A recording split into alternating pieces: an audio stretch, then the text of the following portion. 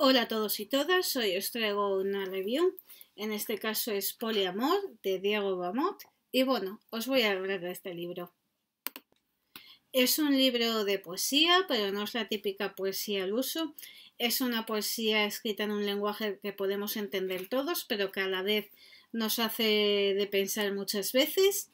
El libro podría dividirse en varias partes, por una parte están los poemas que vienen ilustrados, como por ejemplo este, es Follow Me y veis aquí esta imagen. Otro ejemplo sería este. Y bueno, es un libro que también nos trae varias actividades, un bonus con un mini cuaderno de actividades. Y bueno, hay varias que a mí me encantan, por ejemplo esta, que es dibuja en el bote todos los corazones que quieras y pone debajo rotos también. Otra actividad que me gusta, si la encuentro, es esta, que es ¿a quién le darías un trocito de tu corazón? Escribe su nombre en cada pedazo. O hazte una selfie con este libro y etiquétalo con ese hashtag. Luego tenemos un apartado, bueno, el típico de los agradecimientos.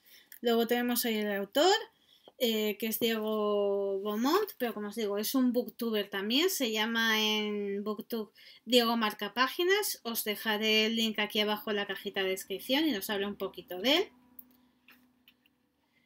Luego también tenemos el listado de todos los poemas.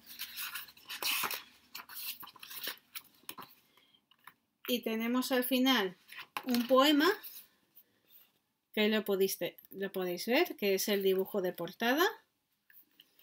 Y tenemos también todas las redes sociales de Diego Beaumont. Ahí las podéis ver. Como veis, tiene Twitter, Facebook, Instagram, YouTube, el mail y tiene web. Os decía, es un libro que a mí me ha encantado. No es la poesía a la que estamos acostumbrando. Y os digo, no se anda con complicaciones. Es un lenguaje que todos podemos entender. Con lo que si no estáis acostumbrados a la poesía o siempre habéis dicho que no os gusta, es un libro que de verdad tenéis que intentar leer, que os lo deje alguien si no lo queréis comprar, pero intentad empezar por aquí, pues que está genial.